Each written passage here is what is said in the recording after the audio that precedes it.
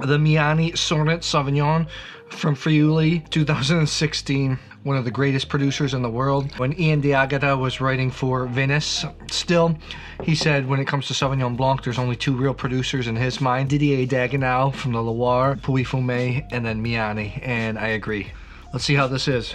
You think of the Loire when you think of mineral, Sauvignon Blanc, but this is super mineral. Kiwi fruit, elderflower. Great wines just have this brightness, this length. Excellent. Three days open and outstanding. Mm.